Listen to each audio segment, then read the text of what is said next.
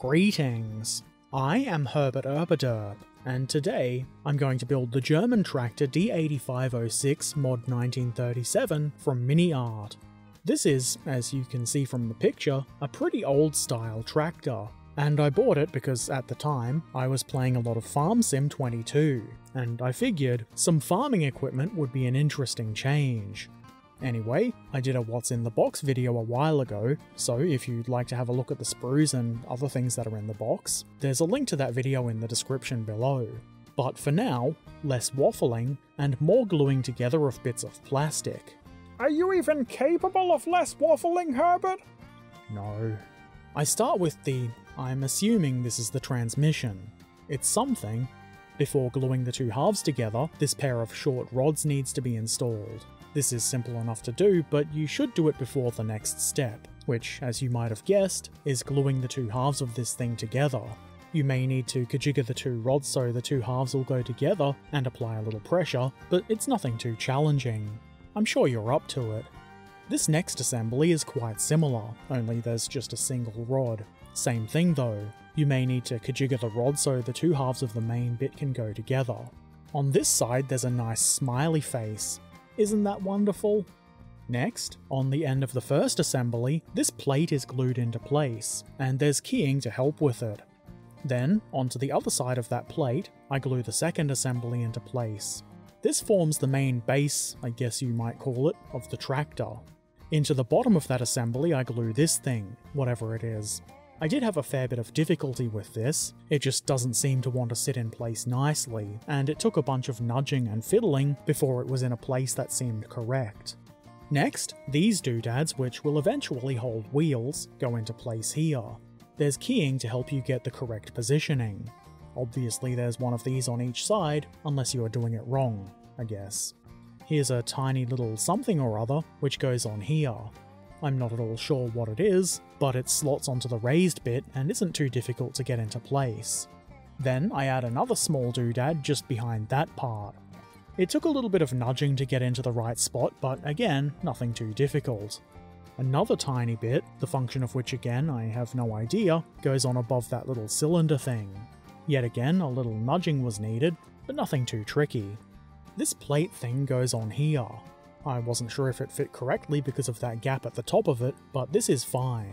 That gap will be covered up later on. I follow that by gluing this plate into place. It's got keying so you can get it close to the right spot. There is a little bit of play to it though, so you might have to eyeball it a bit to get it straight. Onto the D-shaped keying, I glue this mount for a towing hitch. If you apply pressure to this, you'll need to put a finger or something behind it, otherwise you'll probably shift that plate out of place, and that would just be plain awful. Into the hitch mount I glue the hitch. The keying is there to make sure you get this the right way around. Next I assemble this dome thing. I don't know what this is. You don't know what anything is! That's true, I don't. Whatever it is though, it consists of two parts that go together rather easily.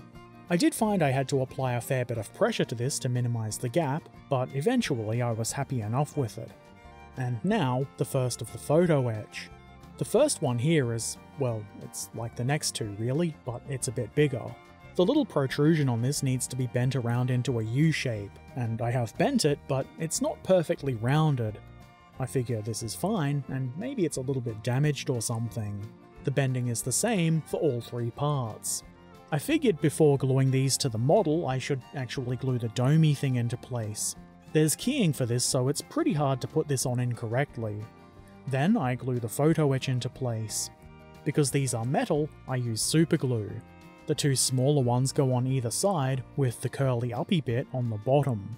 At this point it is kind of hard to tell which way is the bottom, but you'll figure it out. The bigger piece of photo etch goes on the bottom, with the bend toward the front. They're probably not on perfectly, but they are on. Next, we need to add a bolt. This is one that you have to shave off the sprue, which I personally find a little bit annoying. This is a tiny piece, and if you successfully shave this off the sprue, and don't drop it, it can be glued into place here. This isn't really the most difficult thing to do, but it does seem a little bit less than necessary, and I'm not totally sure why this couldn't be moulded on the part. Oh well, Moving on, I follow that by installing this thingamajigger. It pretty much just drops into place right here. Then there's a bolt which goes in through that hole, and the threaded bit should be facing forward like so. It takes a little bit of kajiggering to get this nice and straight, but again, it's nothing too challenging. Next, I glue this little doohickey into place here, and then, between the end of that and this little bit, Geez, great descriptions, Herbert. thank you, we add this little springy looking thing. This is a little bit fiddly, but if you're careful, it's not too difficult. There's going to be just a few more little fiddly bits like this, so I guess strap in and get used to me saying things are fiddly. Maybe make a drinking game out of it. Every time I say fiddly, take a shot. Actually, no, don't do that. I don't want you to die of alcohol poisoning. And here's our next fiddly thing. As I said before, if you're careful, it's easy enough to get this into place. As the kids are always saying, slow and steady wins the race. Slightly less delicate, the engine cover part of the tractor. You might call it a hood. I start by gluing the rear part of the hood into place. This is pretty simple thanks to the keying. The sides go on next, and these also go into place quite easily. I did accidentally press a little bit too much on the right hand side and now the top bit has a very small overhang in the middle, but it still works fine, and maybe we can just say this is farming damage, you know, instead of battle damage. It makes sense to then attach the front bit. A little pressure was needed, but this goes on pretty easily, and after that, we've got ourselves a nice hoodie looking hood bit. Then, I realised I'd made a mistake. God damn it, Herbert. That little recess on the inside of the rear of the hood part that looks like it's meant to be drilled out is in fact meant to be drilled out. It wasn't especially easy to get my drill in there, so I had to go in on an angle. Not a big problem, the hole is where it needs to be, though I would recommend drilling the hole before putting the parts together. I would have done that if I were paying better attention to the instructions. Lesson learned, maybe. Next, next, I install a series of I guess you would call them caps. We've got this big one here, a smaller one up here, and then, next to the first one, another smaller one. These are all rather easy to place and they sit nicely in the recesses. Then, another one here on the front. This one, I assume, is for radiator water, and it's got some little nubbins on it to form a hinge, so do be sure to put it around the right way. So, how about a little more photo etch? Sure, why not? First, I glue, again with super glue, because metal, I glue this license plate holder on the front here. It's not quite keyed, but those nubbins on either side kind of work as a guide. As far as photo etch goes, these parts aren't too difficult. There's no bending, you've just got to get them in the right place, before the glue bonds. Obviously the installation of the Lanz and bulldog plates are the same as the license plate one, just in different positions. The plates are probably not absolutely perfect, but they are on, and I think they look rather good. Now that the hood is done, more or less, it's time to attach the engine framey bit. This part is pretty well guided into place by the shape of the round part of the framey thing, so it's quite easy to not do this wrong. On the front of the bulby duva thing, I glue this thing. It looks like a bolt. I guess maybe it's an attachment point or something like that. It took a bit of nudging to make it nice and straight. Also, be careful, because this is quite a small bit. I suspect it could quite easily fall into the jaws of the carpet monster, and nobody wants to feed that bastard. Next, I add this little bar thing which seems to be related to that crank bit. I'm assuming this has something to do with the brakes. Even tractors need to stop sometimes. There's another one of these for the other side, but we'll put that on later.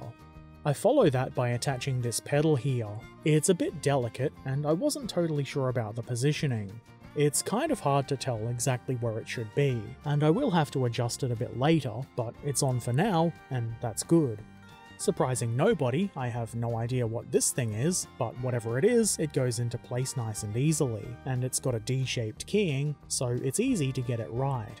I put another pedal on the other side because a good tractor has pedals on both sides. Nobody says that, Herbert. They do now. Like the other pedal, I'm not totally sure it's in exactly the right place, but it looks close compared to what the instructions are showing. This control rod, for controlling engine related things, probably, goes on next.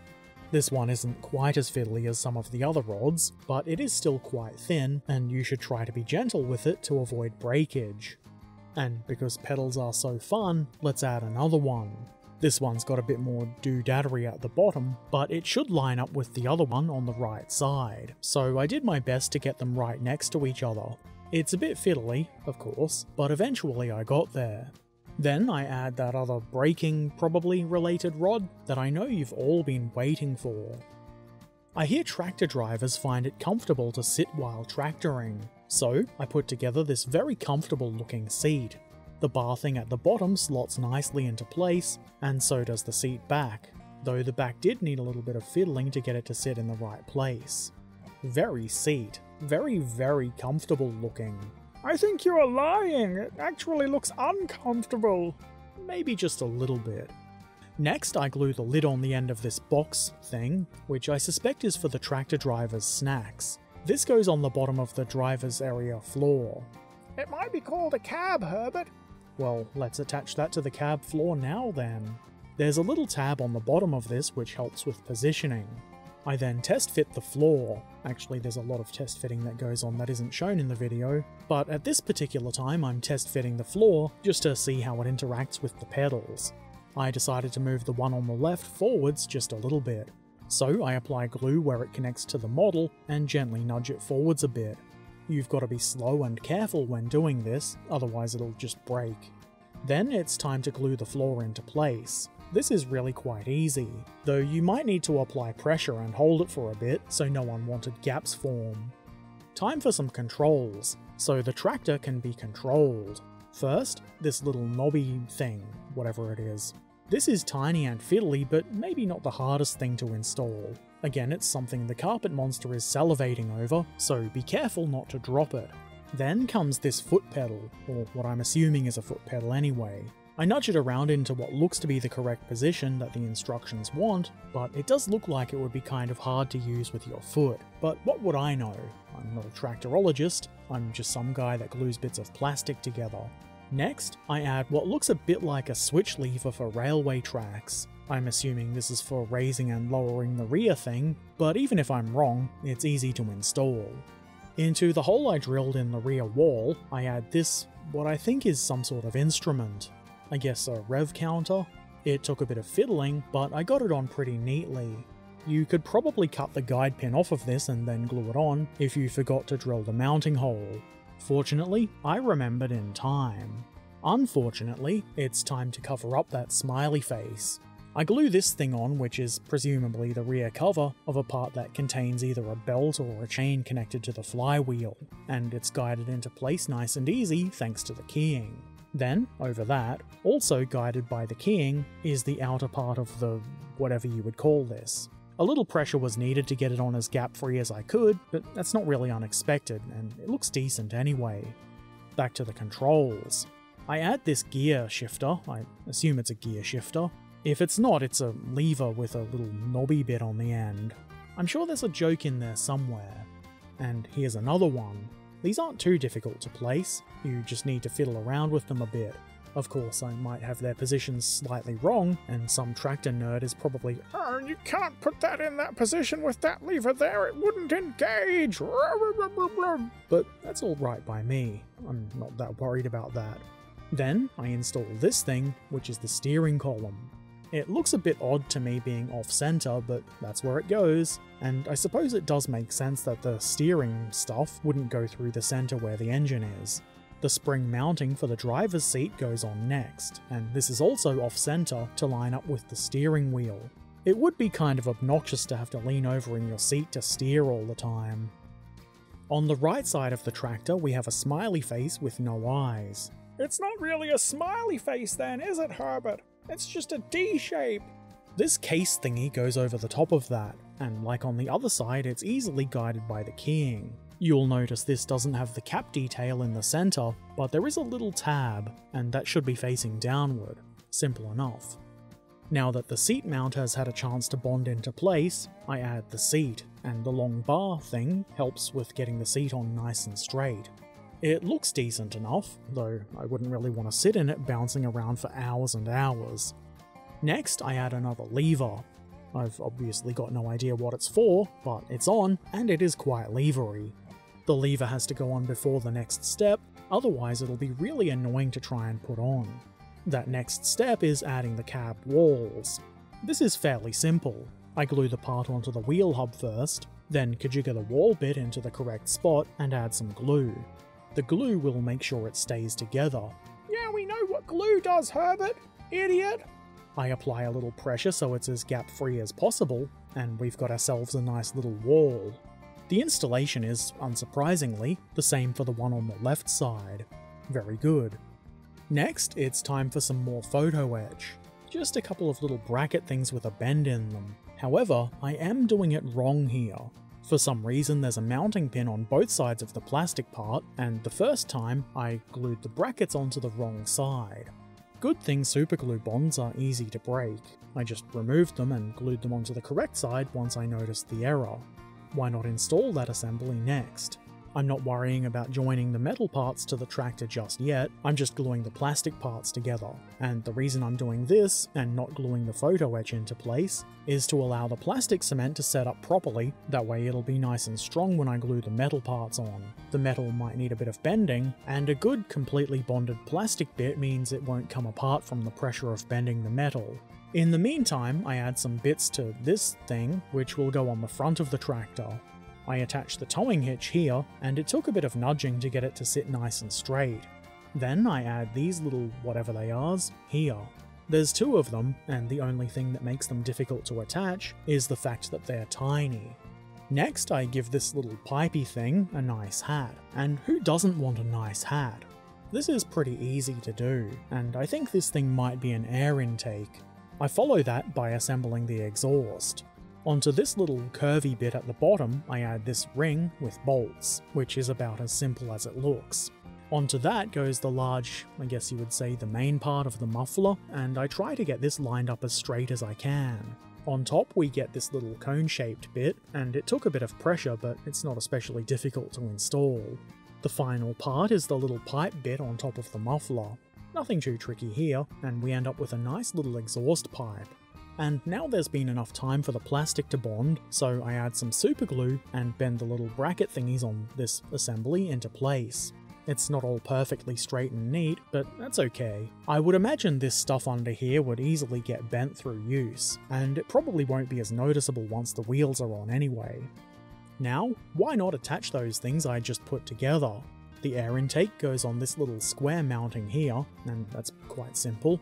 The exhaust was a little bit trickier, it's kind of an odd shape for applying pressure to, and there's enough play in the part that you can, inadvertently, mount it at slightly odd angles. It looks fine at the moment, but this will later interfere with the headlamps a bit, so do take that into consideration when installing the exhaust.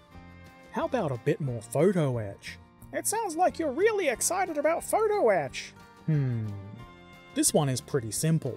It's just a pair of flat brackets, I guess you might call them, and they mount onto a pair of nubbins here. Simple enough. On top of the leaf springs there's a couple of little retainers, I guess you would call those, that hold the leaf spring thing together. It's a little bit fiddly because of the small parts, but if you put them on the right way up, they're not that difficult to install. Then we add the little mounts. These are for the front wheels. They clip into place and are held with friction, so you could probably make the wheels movable. We'll see how it might be a bit difficult to have the front wheels anything but facing forward in a bit. In the meantime, I attached the triangular front hitch thing to this assembly. I didn't film it though because I'm a ding-dong, but this is what it looks like anyway. Next, I attach this piece of steering related gear. It connects to both of the front wheelie dealies, which kind of makes it difficult to have movable steering. Not a big deal, just another thing to note, I guess. Onto this thing on the bottom of the tractor, I install this thing, which is part of the mounting for the steering axle. I then tried to attach said steering axle. You need to connect it onto that bolt thing we glued into that bracket a while ago. However, it was kind of hard to get into place, and I was concerned I might break something. The solution was just to trim down the end of the bolt. This made it a lot easier to install the steering axle, It took a bit of nudging and fiddling to get all of the connection points into place, and the front towing hitch to not be angled upward, but I got it all together, and it looks pretty decent. Next, this rod, which I assume forms part of the steering mechanism. I had a bit of a difficult time with this, a large portion of which was the fact that I couldn't quite tell from the instructions how this bar should be connected at the front of the tractor. I did a bit of fiddling and umming and ahhing, and I think I got it right in the end. Next, I add the headlamps, which are an optional part. If you don't want to use them, there's a couple of small photo etch plates that should instead be installed in the spots where the headlamps attach to the front of the tractor.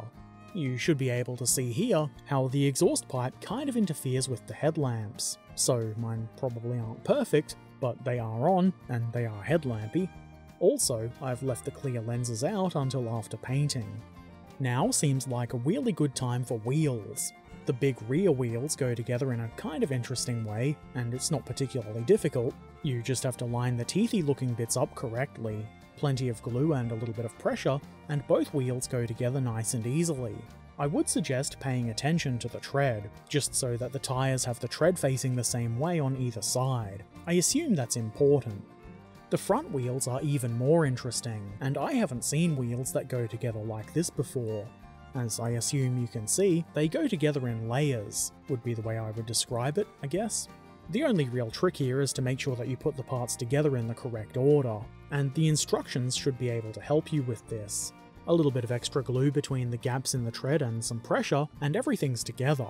I leave those to bond and add the final piece of photo etch, this is a part that you either bend or don't bend, depending on what you want.